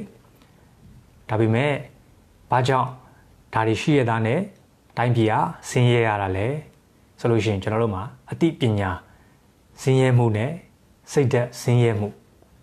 ကြောင့်ဖြစ်တယ် အဲ့တော့ချမ်းသာခြင်းနဲ့မြင့်တင်ခြင်းနဲ့ဘဝမြင့်မားခြင်းနဲ့နိုင်ငံမြင့်မားခြင်းနဲ့ဆိုရင်ကျွန်တော်တို့အားလုံးအတူတူကဘာမြင့်ဖို့လိုအပ်တာလဲဆိုတော့အဲ့ဒီစိတ်ဓာတ်နဲ့အသိဉာဏ်မြင့်ဖို့ကအရေးအကြီးဆုံးဖြစ်ပါတယ်အဲ့တော့ကျွန်တော်တို့အားလုံးအခုလိုမျိုး live video ပေါင်းများစွာဒီနေ့ဆိုရင်85ပုတ် live video ပေါင်းများစွာမျှဝေပေးနေတဲ့အဓိကရွေချက်ကလည်းကိုတက်နိုင်တဲ့ရွေပေါ့တက်အားတဲ့ရွေလေတထောင်တနေရနော်တ live တနေရဟုတ်အလား live လေးကနေဘာလေးပဲဖြစ်ဖြစ် လူတယောက်ချင်းစီလေးရပဲဖြစ်ဖြစ်အနှဲငယ်လေးရပဲဖြစ်ဖြစ်တိသွားပြီပြောင်းလဲသွားပြီဆိုလို့ရှိရင်အားလုံးအဆင်ပြေဟုတ်တယ်နော်အခုဒီ live ကိုကြည့်နေတဲ့ဥမာထားပါအခုဆိုလို့ရှိရင်လူ950လောက်ရှိမယ်အဲ့ဒီတည်းကတယောက်လောက်ပဲတယောက်လောက်ပဲကောင်းသွားအောင်အရင်ဆုံးသူ့ရဲ့ကောင်းကျိုးကိုစပြီးခံစားရမှာသူ့ရဲ့မိသားစုပြီးတော့ तू အခုလုံနေတဲ့အလုပ်အကိုင် तू နေထိုင်နေတဲ့နေရာ ဘာဖြစ်လို့လူတယောက်ကောင်းရင် तू ပတ်ဝန်းကျင်မှာကောင်းကျိုးပြုတယ်လူတယောက်စိုးရင် तू ပတ်ဝန်းကျင်ကိုစိုးကျိုးပြုတယ်ဟုတ်တယ်မလားလူကစိတ်ကလေးကောင်းနေပြီဆိုပတ်ဝန်းကျင်ကိုပြုံးပြတယ်စိတ်ညစ်နေပြီဆိုပတ်ဝန်းကျင်ကိုမကြီးပြဘူးမပြုံးပြဘူးအဲ့လူတယောက်ရဲ့စိတ်ကလေးကချမ်းသာနေပတ်ဝန်းကျင်ကိုကောင်းကျိုးပြုတယ်လူတယောက်စိတ်ကဆင်းရဲနေပတ်ဝန်းကျင်ကိုကောင်းကျိုးမပြုဘူးအဲ့တော့စဉ်းစားကြည့်လူတိုင်းစိတ်တွေချမ်းသာနေပြီဆိုနိုင်ငံကြီးကိုကောင်းကျိုးပြုလိမ့်မယ်ပတ်ဝန်းကျင်ကိုကောင်းကျိုးပြုလိမ့်မယ် ဟုတ်တယ်နော်အဲ့ဒီလိုပဲအတိညာဏ်လည်းအရေးကြီးပါတယ်အဲ့တော့ဘဘာမှအာယုံနေများနေစရာမလိုဘူးငါတို့တိုးတက်ချင်ငါတို့ဘာမြင်ရမလဲစိတ်ဓာတ်နဲ့အတွေးကောမြင်ရဒါပဲဘဝမှာချမ်းသာခြင်းဘာလို့ရှားရမလဲစိတ်ဓာတ်နဲ့အတွေးခေါ်ပညာကိုရှားရမယ်ပတ်စံကိုပဲရှားတာမဟုတ်ဘူးပတ်စံရှိတိုင်းချမ်းသာတာမဟုတ်ဘူးဒါကြောင့်အသိဉာဏ်ပညာချမ်းသာခြင်းနဲ့စိတ်ချမ်းသာခြင်းဟာငွေချမ်းသာခြင်းထက် ပိုပြီးအရေးကြီးတယ်ပတ်စံချမ်းသာပြီးစိတ်ဆင်းရဲနေတဲ့သူတွေရှိတယ်နော်ပတ်စံချမ်းသာပြီးဉာဏ်ဆင်းရဲနေတဲ့သူတွေရှိတယ်အဲ့ဒီပတ်စံကလူတစ်ယောက်ကိုခုနကပြောတဲ့အသိဉာဏ်မြင့်အောင်နေနော်ဒါတွေကြတော့မကူပေးနိုင်ဘူးအဓိကစိတ်နဲ့အသိဉာဏ်မြင့်မားနေပြီးချမ်းသာနေပြီဆိုငွေကိုရအောင်ရှာဖွေနိုင်တယ်ဟုတ်တယ်မလားအဲ့တော့ကိုက ချမ်းသာခြင်းနဲ့တိုးတက်ခြင်းနဲ့ဖွံ့ဖြိုးခြင်းနဲ့ဆိုလို့ရှိရင်ပတ်စံမရှိလို့စိတ်မညစ်နဲ့သိလားနော်တချို့ပတ်စံမရှိလို့စိတ်တက်ကြတယ်စိတ်တက်ကြတော့ပတ်စံမှာထက်ကြတယ်ဒီလိုမျိုးတွေတွဲနေတာဟုတ်တယ်မလားအမှန်ဆိုပတ်စံမရှိဘူးစင်းရဲတယ်ဆိုဘာလို့ထက်မြင်ရမလဲအော်ငါလူစင်းရဲနေတယ်ပတ်စံစင်းရဲနေတယ်ဆိုရင်ခုနပြောတယ်နှစ်ခုကိုမြင်ရမှာ ဆိုတော့ပတ်စံမရှိတာနဲ့ကျန်တဲ့နှစ်ခုပါအသိဉာဏ်လည်းမရှိမရှိတော့ဘူးစိတ်တက်လည်းမရှိတော့ဘူးဆိုလို့ရှိရင်ကြတဲ့ထက်ပိုကြစင်းရဲတဲ့ထက်ပိုစင်းရဲသွားမှာပေါ့ဒါကြောင့်လောကမှာစင်းရဲတဲ့သူတွေကစိတ်ဓာတ်တွေကြပညာမရှာတဲ့အတွက်စင်းရဲတဲ့ထက်စင်းရဲနေကြတယ်ဟုတ်တယ်နော်အဲ့တော့အခုကိုကငွေနောက်ကြီးပဲလိုက်နေလို့မရဘူးပတ်စံကြီးပဲအတကုံသိမ်းကျုံပြီးတော့ရှာဖွေနေလို့မရဘူးပတ်စံကြီးအများကြီးရရင်လိုချင်တာပေါ့ စိတ်တခွန်အားတွေအများကြီးရရင်ရောမလိုချင်ဘူးလားအတိပညာတွေအများကြီးရရင်ရောမလိုချင်ဘူးလားဒါတွေကပို့ပြီးတော့တန်ဖိုးရှိတာဟုတ်တယ်မလားเนาะအဲ့တော့ဒီနှစ်ခုဟာအခြေခံเนาะဒါဒီနေ့အစအဆုံးတော့ဒီဆရာတော်ဘုရားရဲ့တရားကိုတော့နားမထောင်ဖြစ်ပါဘူးသို့တော့ခုနကပြောတဲ့စကားလုံးလေးကိုအဓိကကြားလိုက်လို့เนาะဘာလဲလူတယောက်ရဲ့အဆင့်တန်းဆိုတာသူ့ရဲ့စိတ်သက်ဆိုင်တဲ့အခြေခံအဆင့်မြင့်ရတော့အတိညာဒါပဲ မြတ်စွာဘုရားရှင်ကလူတွေကိုကောင်းမွန်လာအောင်ဆုံးမတဲ့အခါမှာအခြေခံအနေနဲ့စိတ်ကိုဗဟုပြုပြီးတော့သင်ကြားပေးတယ် mind center teaching အစစ်မြင့်အနေနဲ့အတိညာပညာကိုဗဟုပြုပြီးတော့ဆုံးပါတယ်ပညာရာကိုဆုံးပါတယ်เนาะဒါလေးကဒီနေ့ဒီကမိတ်ဆွေတွေအတွက်ကိုအင်မတန်မှမှန်ကန်ပြီးအကျိုးရှိမဲ့စကားတွေဖြစ်မယ်လို့လည်းကျွန်တော်အနေနဲ့ယုံကြည်ပါတယ်เนาะဘဝတစ်လျှောက်မှာဒါကိုအဓိကထားပါ နော်ဟုတ်တယ်လူဆင်းရဲနေပါစေတဲ့နော်စိတ်တက်မဆင်းရဲပါစေနဲ့အဲ့ဒါဒီအရေးကြီးတယ်နော်တချို့ကပတ်စံတွေကတော့အများကြီးပဲရှိတယ်ချမ်းသာတယ်သို့တော့စိတ်တက်ကအောက်တန်းကျတယ်တွေ့ဘူးလိမ့်မယ်သူကဟိုစကပုံရဲ့ပြောင်းပြန်လူနေပုံဖြာစိတ်နေခြုံကြလို့ပြောင်းပြန်နော်ကျွန်တော်တို့ကြားဘူးလားဘယ်လိုစကပုံကြားဘူးလားလဲလူနေခြုံကြစိတ်နေပုံဖြာဆိုတာကြားဘူးလားတချို့ကပြောင်းပြန်လူနေပုံဖြာစိတ်နေခြုံကြ လူကတော့ဘုံဖြားပေါ်မှာအစင်တန်းမြင့်နဲ့ယာဒူးမြင့်နဲ့ပတ်စံရှိတယ်တိုင်နဲ့ကားနဲ့ဟုတ်ပြီနော်ရွှေနဲ့ငွေနဲ့ရတနာနဲ့စိန်နဲ့စိန်ဘုံပေါ်မှာထိုင်နေလို့ရတယ်ပတ်စံဘုံကြီးပေါ်မှာထိုင်နေလို့ရတယ်သုံးနိုင်တယ်ဖြုံးနိုင်တယ်ဒါပေမဲ့စိတ်သက်တရားတော့ဘာဖြစ်လဲအောက်တန်းကြတဲ့သူတွေရှိတယ်ဟုတ်တယ်မလားအဲ့ဒါဒီအစင်မပြေဘူးအစင်မပြေဘူးစိတ်သက်အောက်တန်းကြရင်အရာအလုံးအောက်တန်းကြတာပဲကျန်တဲ့အရာတွေဘလောက်ပဲအစင်မြင့်မြင့် လူတွေကသူ့ကိုလေးစားမှာမဟုတ်ဘူးယာဒူကြီးဘလောက်ပဲကြီးကြီးသူ့ရဲ့နော်ထိတ်ဆုံးမှာဘယ်သူမှမရှိတော့တဲ့ခေါင်းဆောင်ကြီးပဲဖြစ်နေဖြစ်နေစိတ်ကအောက်ကျနေလူတွေကတန်ဖိုးထားမှာမဟုတ်ပါဘူးလူတွေကဘယ်လိုမျိုးလူတွေကိုတန်ဖိုးထားတယ်လဲဘယ်လိုခေါင်းဆောင်တွေကိုတန်ဖိုးထားတယ်လဲဘယ်လိုပုံကိုယ်တွေကိုလေးစားမျက်နှိုးကြတယ်လဲဆိုရင်စိတ်ထားမြင့်မြတ်တဲ့သူတွေနဲ့အတိညာဉ်မြင့်မြတ်တဲ့လူတွေကိုလူတွေကတန်ဖိုးထားကြတယ်စဉ်းစားကြည့်ကြည့်ဒီကမိတ်ဆွေတွေလည်းကိုဘယ်သူတွေကိုတန်ဖိုးထားလဲ စိတ်ထားမြင့်မားတဲ့သူတွေနဲ့အတိညာဉ်မြင့်မားတဲ့သူတွေကိုပဲတန်ဖိုးထားတာပညာရှိကိုလေးစားတယ်နော်စိတ်ထားကောင်းတဲ့သူတော်ကောင်းတွေကိုတန်ဖိုးထားတယ်ကြီးညိုတယ်အဲ့ဒါတွေကငွေနဲ့ဝယ်လို့မရဘူးဟုတ်တယ်မလားလူတွေရဲ့လေးစားမှုငွေနဲ့ဝယ်ယူလို့မရဘူးလူတွေရဲ့လေးစားမှုဈေးထဲမှာသွားဝယ်လို့လည်းမရဘူးတချို့ကလူတွေရဲ့လေးစားမှုကိုတော့ခံကျင်တယ်ဟုတ်ပြီနော်လူတွေရဲ့လေးစားမှုခံကျင်လိုက်တာမှသူ့အပြင်မရှိဘူး တချို့လူတွေရှိတယ်ခုနကစိတ်တက်ကကြတော့အောက်ဆုံးပါသူကိုယ်တိုင်စိတ်တက်အောက်တန်းကြပြီလူတွေရဲ့လေးစားမှုမျှော်နေတလွဲကြီးဖြစ်မှာပေါ့လူတွေရဲ့လေးစားမှုကိုမျှော်နေရမှာမဟုတ်သူ့စိတ်ဓာတ်ကိုမြင့်မြင့်မားမားထားရမှာအခုတော့သူ့ရဲ့လုံရက်သူ့ရဲ့စိတ်ဓာတ်သူ့ရဲ့အပြောအဆိုဒါတွေအားလုံးကအကုန်လုံးကအောက်ဆုံးမှာရောက်နေပြီးတော့လူတွေကငါ့ကိုတန်ဖိုးမထားကြဘူး လူတွေကငါ့ကိုမလေးစားကြဘူးလူတွေကငါ့ကိုမကြည်ညိုကြဘူးလူတွေကငါ့ကိုနော်မကိုးကွယ်ကြဘူးစိတ်တူနေလို့မရဘူးဘာဖြစ်လို့လဲခုနကပြောတယ်လေးစားမှုနဲ့မထိုက်တန်လူတွေကမလေးစားဘူးကြည်ညိုမှုနဲ့မထိုက်တန်လူတွေကမကြည်ညိုဘူးအဲ့မထိုက်တန်ပဲတဲ့လူတွေကိုကျွန်တော်ကိုကြည်ညိုကြပါကျွန်တော်ကိုလေးစားကြပါကျွန်တော်ကိုတန်ဖိုးထားကြပါဗျာလို့လိုက်អော်နေလူတွေကဝိုင်းရီမှာပေါ့ ဟုတ်တယ်မလားမင်းလောက်ရက်နဲ့မင်းရဲ့စိတ်ဓာတ်တွေကိုမင်းပြန်ကြည့်အောင်လေးစားစရာမရှိပဲနဲ့ငါတို့ကမင်းကိုလေးစားစရာလားဒီလိုပဲပြန်ပြောမှာပေါ့ဟုတ်တယ်မလားကိုကိုကိုတန်ဖိုးထားဟုတ်ပြီနော်အဲ့ဒါအရေးကြီးလူတွေရဲ့လေးစားမှုမျှော်ကိုးမနေနဲ့လေးစားစရာကောင်းသောလှုပ်ရက်တွေစိတ်ဓာတ်တွေရှိရင်အလိုလိုလေးစားလာလိမ့်မယ်လူလေးစားခံခြင်းလို့တော့လိုက်မလုံနဲ့ တချို့တွေကရှိတယ်ရည်ရွယ်ချက်ကလူလေးစားခံခြင်းလို့လို့ဟုတ်ပြီနော်လူကြိုက်များတာလိုချင်လို့လို့ဒီလိုလောက်တာကြတော့ရည်ရွယ်ချက်မမှန်ဘူးပေါ့ကိုယ်လူတွေကြိုက်ကြပါစေကိုယ်လူတွေနှစ်သက်ကြပါစေလူတွေကိုယ်လေးစားပါစေဆိုပြီးတော့ဟန်ဆောင်ပြီးတော့လောက်တာကြတော့မကောင်းဘူးเนาะအဲ့ဒီလိုမျိုးဖြစ်တယ်ရမယ်เนาะအဲ့တော့ဒီနေ့ဆွေးနွေးမှုအားလုံးပဲဒါသဘောပေါက်မယ်လို့ထင်ပါတယ်เนาะ ကျွန်တော်တို့ပတ်ဝန်းကျင်မှာလည်းအဲ့လိုလူမျိုးတွေရှိပါတယ်ဟုတ်ပြီလားအဲ့တော့ကိုကိုတိုင်းလဲလူတိုင်းကတော့ဟိုတချို့တွေပတ်စံရှိလာရင်လူလေးစားတာကိုခံကျင်တယ်တချို့တထေးကြီးတွေသူပတ်စံရှိတဲ့သူတွေအောင်မြင်သူတွေဆိုလူတွေရဲ့လေးစားမှုအခါကျရင်လိုချင်ပြီခုနပြောဆိုသူကငွေနဲ့ဝယ်ယူလို့မရဘူးဟုတ်တယ်မလားငွေနဲ့ဝယ်ဝယ်လို့မရဘူးကျွန်တော်တို့ကိုယ်တိုင်လှုပ်ဆောင်မှရမှာဖြစ်တယ်လှုပ်ဆောင်မှအကျိုးရှိသောလှုပ်ရက်တွေနဲ့ စေတနာပါသောလှုပ်ရက်တွေအဲ့ဒါကလူတွေကသိတယ်ဒီလူတယောက်ကစေတနာပါပါနဲ့လှုပ်နေတာလားအပေါ်ယံလှုပ်နေတာလားအတွင်းကြကြလှုပ်နေရလားဘာပဲလှုပ်လို့နိုင်ငံရေးပဲလှုပ်လို့ပရိုက်တာပဲလှုပ်လို့ဘာပဲလှုပ်လို့ဟုတ်ပြီနော်အပေါ်ယံလှုပ်တာလားနက်နက်ရှိုင်းရှိုင်းလှုပ်တာလားမနိုင်ငံရေးလှုပ်တယ်ဆိုလဲနိုင်ငံရေးကိုပေါ်ပင်လှုပ်တာလားနက်နက်ရှိုင်းရှိုင်းလှုပ်တာလား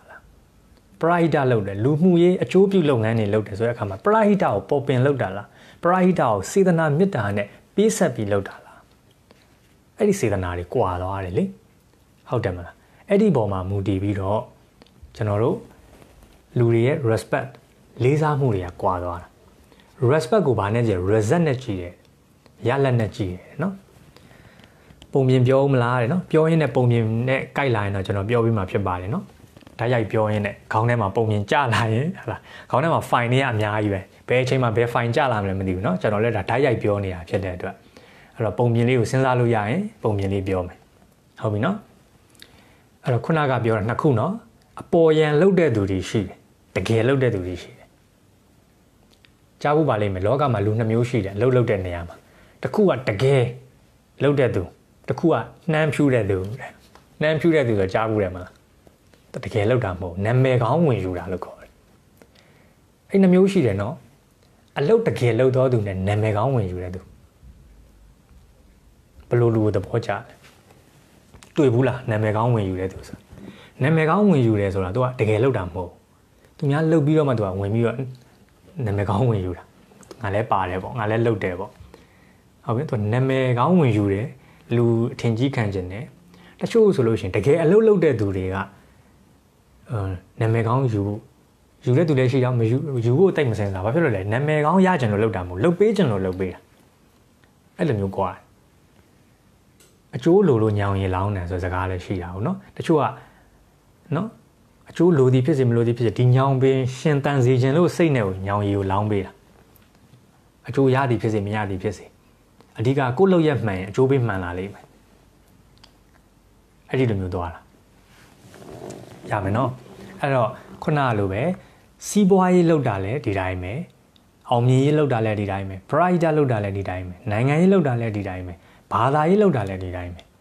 ဘာသာရေးဆိုလို့ရှိရင်လည်းခုနပြောသလိုအပေါ်ယံလောက်တာနဲ့ထဲထဲဝင်ဝင်လောက်တာနဲ့နာမည်ကောင်းလိုချင်လို့လောက်တာနဲ့တကယ်ရလက်ထွက်ချင်လို့လောက်တာနဲ့အဲ့ဒါတွေကွာတယ်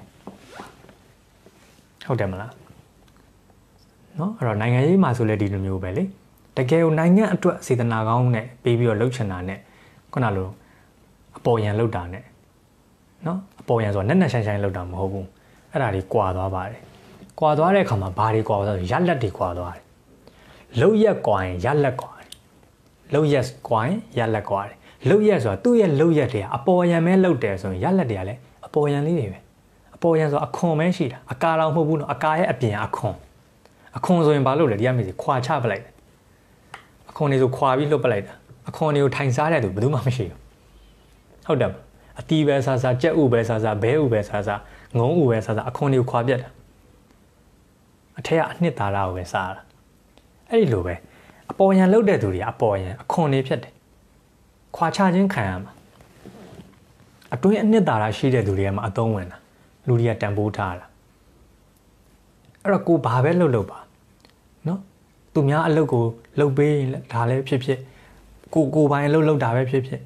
လူသားတွေအတွက်အကျိုးပြုတဲ့အလုပ်လုပ်တာပဲဖြစ်ဖြစ်နိုင်ငံအတွက်အကျိုးပြုတဲ့အလုပ်တွေလုပ်တာပဲဖြစ်ဖြစ်ဘာပဲလုပ်လို့ဘာပဲလုပ်လို့ကျွန်တော်တို့ကခုနပြောတယ်အပေါ်ယံနှမ်းဖြူးယုံနော်အဖြစ်လုပ်တာမဟုတ်တကယ်လုပ်တာအလုပ်ဖြစ်အောင်လုပ်တာအဖြစ်လုပ်သူနဲ့အလုပ်ဖြစ်သူနှစ်မျိုးရှိတယ်အဖြစ်ပဲလုပ်တာအပေါ်ယံကြောလေး အလုပ်ဖြစ်အောင်လုပ်တာထဲထဲဝင်ဝင်လုပ်တာအဲ့ဒီမျိုးတွေကွာတာပေါ့ဟုတ်ပြီနော်အဲ့တော့ကိုအောင်မြင်မှုကဒီတိုင်းပဲသူနဲ့ကိုနဲ့အလုပ်တစ်ခုတည်းမှာတူတူလုပ်တာပဲသူလည်းစူးစမ်းတာကိုလည်းစူးစမ်းတာပဲဘာဖြစ်လို့ကိုကမအောင်မြင်သူကကျတော့အောင်မြင်လဲတခါတလေမှာအဲ့ဒီထားတဲ့စေတနာတွေနဲ့ထဲထဲဝင်ဝင်လုပ်မှုတွေကွာတယ်အဲ့လိုလုပ်တဲ့သူတွေကအလုပ်တွေမှာလည်းအောင်မြင်ကြတယ်အောင်မြင်ကြတယ်နော်ဥပမာအလုပ်မှာဆိုလို့ရှိရင်လည်း တချို့ကလှုပ်တက်ပေါ့ဒီလုံးမှာလှုပ်လာတာကြာလာပြီ9နှစ်6နှစ်တောင်ရှိပြီပေါ့9နှစ်6နှစ်လောက်တွေရှိနေပြီဒါပေမဲ့လှုပ်တက်တစ်နှစ်နှစ်နှစ်လောက်ပဲရှိတဲ့သူကယာရုတွေတက်သွားတယ်ပိုပြီးအောင်မြင်သွားတယ်အဲ့တော့သူကဘာပြောလဲ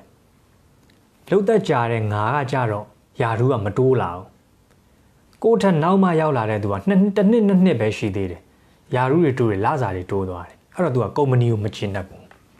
အလုပ်ကိုမချင်တတ်ဘူးဟောဘာကွာတော့လေသူက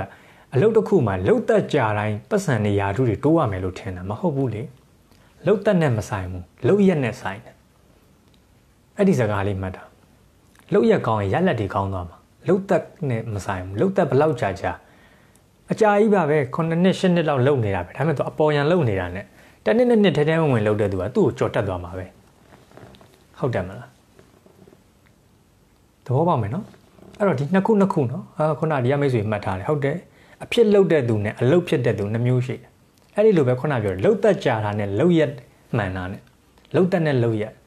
မတူဘူးတချို့တွေလှုပ်သက်တာကြားတယ်လှုပ်ရက်မကောင်းတချို့ကလှုပ်သက်ကမရှိသေးဘူးလှုပ်ရက်ကကောင်းတော့သူ့ကိုကြော်တက်သွားတယ်ဟုတ်တယ်မလားအပြေးပြိုင်ပွဲဝင်မှာကြည့်ကြည့်ပေါ့ဟန်ဆောင်ပြေးတဲ့သူနဲ့တကယ်ပြေးတဲ့သူတကယ်ပြေးတဲ့သူကပန်းဝင်သွားမှာကြော်တက်သွားမှာပေါ့ဟန်ဆောင်ပြေးတဲ့သူကတော့နောက်မှပဲကြံခဲ့မှာ ဟုတ်တယ်နော်အဲ့ဒီလိုမျိုးဖြစ်ပါတယ်ဒါကြောင့်ကျွန်တော်တို့က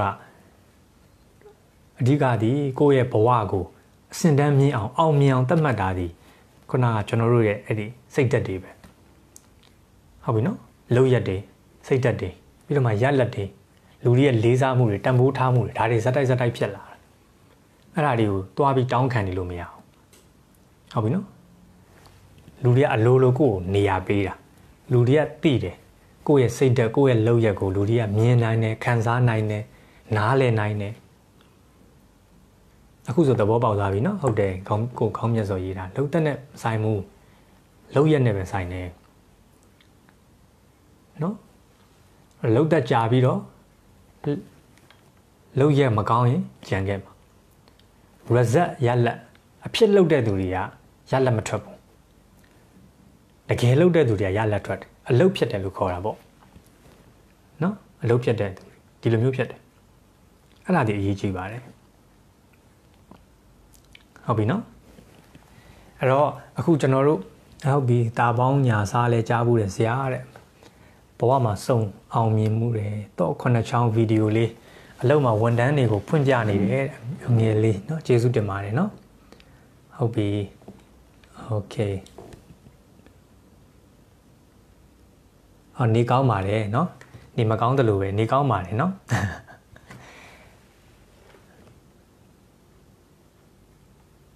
အားလုံးနဲ့ကျမ်းမာရေးကြီးယူဆိုင်ပါเนาะ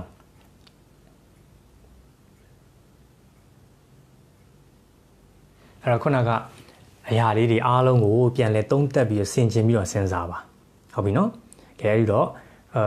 စင်နာရီထိုးဖို့6မိနစ်ပဲလိုတော့တယ်ဆိုတော့ ခုနကလည်းပုံပြင်ပြောပြပါပုံပြင်ပြောပြပါဆိုတော့ကျွန်တော်ခေါင်းထဲမှာစဉ်းစားလို့ရတဲ့ပုံပြင်လေးတစ်ခုပေါ့နော်အာအတူလေးပေါ့နော်အခုပြောတဲ့အကြောင်းနဲ့ဆိုင်လားမဆိုင်လားတော့မသိဘူးနော်ပုံပြင်လေးတစ်ခုခေါင်းထဲမှာဖြတ်ခနဲပေါ်လာလို့အဲ့ဒါလေးပြောပြပေးမယ်တခါတော့ကလူတစ်ယောက်ရှိတယ်အဲ့ဒီသူကငားသွားများတယ်ပေါ့နော်ငားသွားများတယ်ငားများတယ်ငားများတဲ့အခါမှာอืมဆရာမေးထားလေးဖြေပါအောင်ဗာမေးထားလဲပြန်မေးပေးပါအောင်နော် စမ်းတစ်တီထွင်အောင်မြင်ခြင်းတဲ့အကောင့်နာမည်အဲကိုမေးထားတာလေးကို comment ဒီမှာရေးပြီနော်ဟုတ်ကျွန်တော်ခုနကမတွေးလိုက်လို့ ਨੇ တူတယ်နော်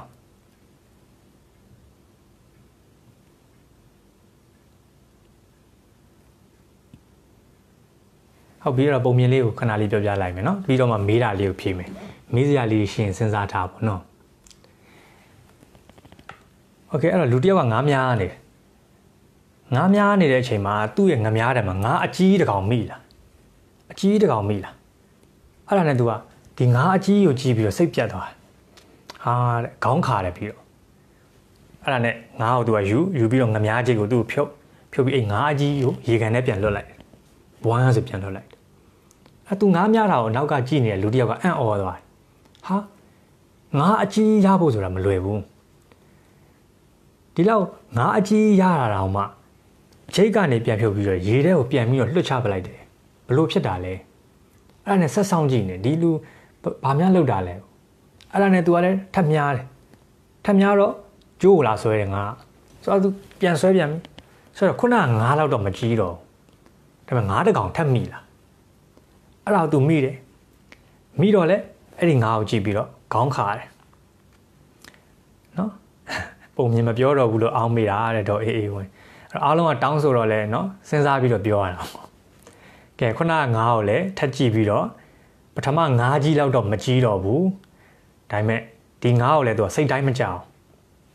เนาะငမားချိတ်ကနေဖြုတ်ရေထဲပြန်လွတ်ချပလိုက်ဘွမ်းဆိုလွတ်ချပလိုက်ငါပြန်လွတ်သွားပြန်အဲ့ဒါနဲ့နောက်ထပ်ဒီကောင်တကောင်ထပ်ချိတ်ပြီးတော့ထပ်များပြန်ဟိုနောက်ကကြီးတဲ့ကောင်ကအသေးရားနေပြီငါးနှစ်ကောင်မိတာနော်ငါးနှစ်ကောင်မိတာ နှစ်ကောင်စလုံးပြန်လွတ်ပလိုက်တယ်ပထမတစ်ကောင်ကအကြီးနောက်တစ်ကောင်ကအလက်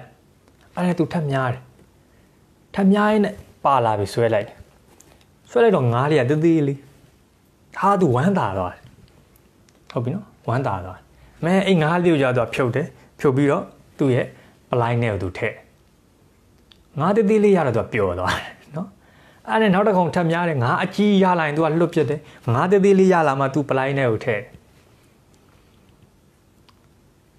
ကဲဟုတ်ပြီအဲ့တော့အနောက်ကကြည့်နေတဲ့သူကအားမလို့အားမရဖြစ်နေအဲ့တော့သွားမေးတယ်ခမနေစမ်းမအောင်နဲ့ခမကိုကြုတ်ကြည့်နေတာပထမဆုံးငါအကြီးတကောင်ရတယ်ဘာဖြစ်လို့လွတ်ပလိုက်တာလဲနှမျောစရာကြီးတယ်သူများတွေငါအကြီးများရရင်ပျော်လို့တဲ့ငါတသေးလေးရရင်မပျော်ဘူးတဲ့ခမကပြောင်းမြန်ငါတသေးလေးရတော့အမေပျော်ပြီးတော့ဖြုတ်ပြီးတော့ထည့်သွားတယ်ငါအကြီးတွေကြတော့ဘာဖြစ်လို့လွတ်ပလိုက်တာလဲနှမျောစရာကြီးဟုတ်ပြီနော်ကဲ အခုဒီ live ကိုကြည့်နေတဲ့သူတွေရောဘယ်လိုထင်လဲသူဘာဖြစ်လို့ငါ့ကိုလွတ်ပလိုက်တာအကြီးရော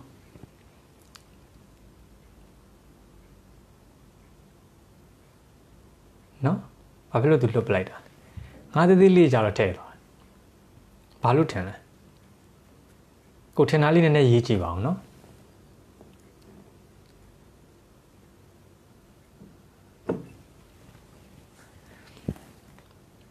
ကိုဘယ်လိုမျိုးမြင်လဲအဲ့ဒီပုံမြင်လေးကိုနားထောင်ရတဲ့အခါမှာငါအကြီးကြီးကြတော့သူလွတ်ပြတယ်ငါတသေးလေးတွေကြတော့ရတော့ပျော်သွားတယ်ပလိုင်းပေါက်ကကျင်းနေလို့လားလူချင်းမှုပေါ်မှာမူတည်တာလားတဲ့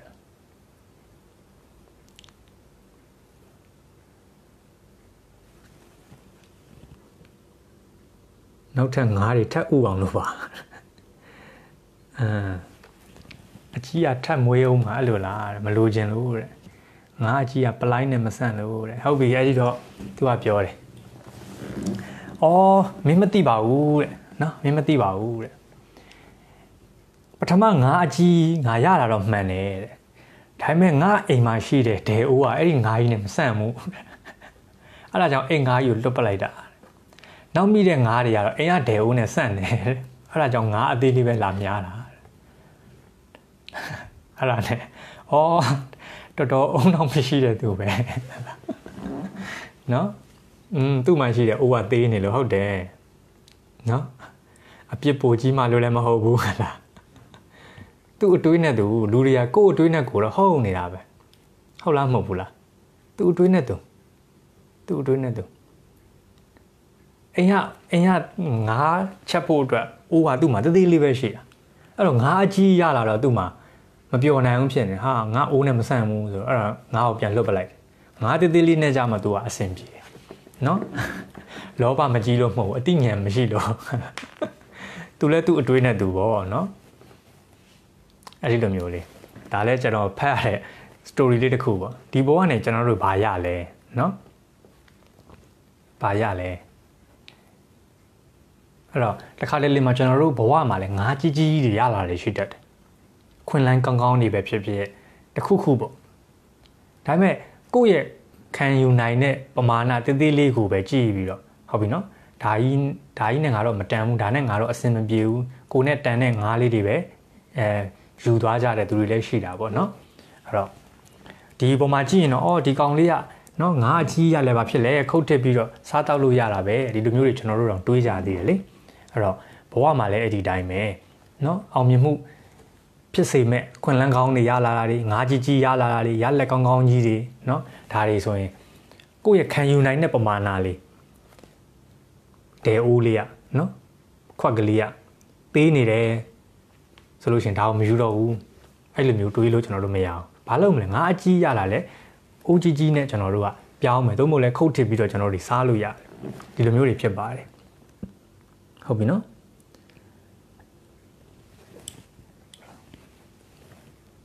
ကဲဒါကတော့ဒီနေ့ဒီကမိတ်ဆွေတွေပုံမြင်ပြောပြပါဆိုလို့ခေါင်းထဲမှာခေါင်းထဲမှာရှိတဲ့ပုံမြင်လေးကို sharing လုပ်ပေးလိုက်တာပါเนาะနောက်နေ့ကျရင်တော့ပုံမြင်လေးတွေကျွန်တော်စဉ်းစားထားပါမယ်ပုံမြင်တွေလည်းအများကြီးပဲเนาะခွင်လန်းတစ်ခုရပြီမယ်တဲ့ကိုမလုံနိုင်ဘူးလို့ထင်လို့လွတ်ချမိတာဟုတ်တယ်ဒီလိုမျိုးတွေလည်းရှိရလေခွင်လန်းကောင်းကြီးတော့ကြုံတယ်ငါနဲ့မတန်ပါဘူးဒါတော့ငါလုံနိုင်မှာမဟုတ်ဘူးဟုတ်ပြီเนาะငါဘဝနဲ့ဒါမအပ်ဆက်ဘူး ငါမှဒီလိုမျိုးလုံနိုင်တော့အရေးချင်းမှမရှိတာဆိုပြီးတော့အခွင့်အလမ်းကောင်းကြီးတွေကိုပြန်ပြန်ပြီးရေထဲလွတ်လွတ်ပြစ်နေတဲ့အချိန်တွေများလာရင်ကျွန်တော်တို့ကဘာလေးတွေနဲ့ပဲတန်တာလဲငါးသေးသေးလေးတွေနဲ့ပဲတန်တာဖြစ်သွားလိမ့်မယ်ဟုတ်ပြီနော်အတွေးခေါ်သေးသေးလေးပဲရှိရင်ငါးသေးသေးလေးတွေပဲရမယ်ကြီးမားတဲ့အတွေးခေါ်ကြီးကြီးမားမားရီမန်းချက်ကြီးကြီးမားမားမျော်မှန်းချက်ရှိမှငါးကြီးကြီးတွေရရင်အဆင်ပြေမှာဖြစ်ပါတယ်အ တွေးခေါ်သေးဘဝမှာငါးသေးသေးလေးတွေပဲရလိမ့်